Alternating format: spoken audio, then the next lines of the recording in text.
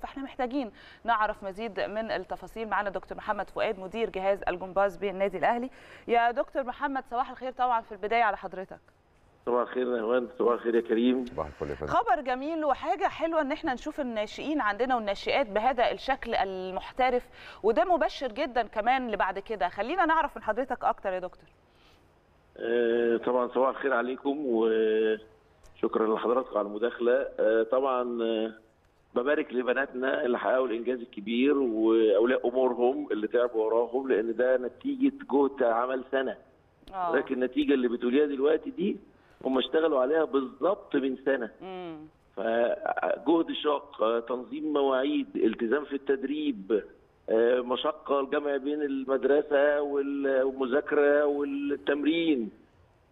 مشوار طويل جدا جدا جدا. ربنا في الآخر الحمد لله بيكلله بالنجاح صحيح. وتضافر كل الجهود. لولا مساندة إدارة النادي مساندة إدارة النشاط الجهود المبذولة من أولياء الأمور والمدربين والبنات. البنات هم البطلات الحقيقيات للإنجاز الكبير ده لأن جهد كبير وتعب كتير كتير كتير عشان نوصل إلى النتيجة دي.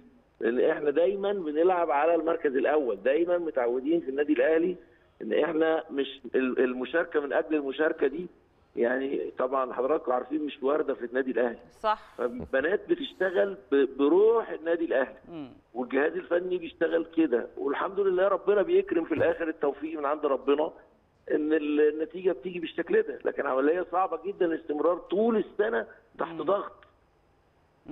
طب إيه كانت دكتور محمد يعني أصعب ال- الماتشات. وخلينا نعرف برضو الكواليس اللي حضرتك كانت بتجمعك باللاعبات. يعني محتاجة أعرف أكتر ال- الحتة دي أو الجزئية دي. هو إحنا عندنا مشكلة بتواجهنا في المرحلة. اولا طبعا خلي بالك سن 12 سنة ده الناس قد تب- تبدو يعني إن ده سن صغير أو لأ ده دول بقالهم ست سنين بيلعبوا عندهم خبرات وجمل صعبة وبيعملوا حركات على مستوى عالي. يعني مسألة بالنسبة لهم معقدة مش بسيطة. فبالتالي آه، الإعداد ليها كمان بيكون مش سهل لأنك بتعد لأنك هتلعب على حاجة صعبة. طبعا. فلازم البنات يعدوا نفسيا يعدوا عقليا إزاي يفكروا بفكر البطولة؟ إزاي نفسيا يتحملوا المنافسة وضغط البطولة؟ يتحملوا طول الموسم. فكل الوقت ده طول الموسم إحنا بنتكلم مع البنات ونعمل شحن ونعمل تجارب مم. للبطولة كأننا بالظبط بروفات للبطولات. إزاي؟ ما بنبتديش بنفس الباور بالقوة في بداية الموسم عشان ما يتعبوش على نهاية الموسم بننظم جهدنا وتدريبنا تصاعدي بحيث نوصل للقمة لأن إحنا بنلعب آه، بطولة جمهورية مباراة واحدة. فده بيعمل ضغط جامد إن ما عنديش تعويض ما عنديش لو. اتغلبت النهارده ممكن الماتش الجاي يعوض ما عنديش.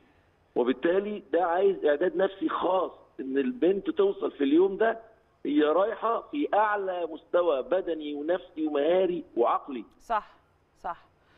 يعني أنا متأكدة إن زي ما حضرتك كده ذكرت في بداية كلامك الموضوع مشوار طويل واستعدادات وكواليس و ups and downs وحاجات زي كده كتيرة جدا. في النهاية يعني أسفرت على الحمد لله الميداليات الكتيرة جدا اللي النادي الأهلي حصدها. مزيد من التألق إن شاء الله ربنا يوفقكم مزيد كمان ومزيد دكتور محمد هو ده اللي إحنا متوقعينه من منكم. شكرا جدا. شكرا. شكرا أمان، شكرا اللي أنا عايزة أقوله النقطة اللي دكتور محمد اتكلم فيها كريم فعلا آه، إحنا دايما بنتكلم عن ال- البطولة في النهاية لكن بيبقى في مشوار طويل جدا. بتيجي مثلا حتى حد بياخد جايزة حد بيتكرم حد بياخد بطولة آه، وبتكلم هنا على كل المستويات مش بس حتى المستويات ال- ال- ال- الرياضية. تلاقي في مشوار في مشوار طويل قوي عشان توصل لهذه النهاية. فلا وكم تتكلم هنا لو هنتكلم تحديدا على الناشئات عندنا 12 سنة.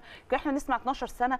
12 سنة ده حاجة ده بيبي يعني. لا بس فعلا هم ابتدوا من ست سنين وهم عندهم ست سنين فبقى لهم ست سنين بيلعبوا فدول ناس يعني آه ناشئات ولكن محترفات. فيعني حاجة تفرح بصراحة لما تلاقي عندك ده. إحنا دايما بنقول ال- ال- الناشئين والناشئات بتوع النادي الأهلي هو ده المصنع اللي بيخرج بعد كده النجوم اللي بترفع اسم النادي الأهلي بعد كده في كل المحافل الدولية حتى ومحليا فحاجة بصراحة حلوة.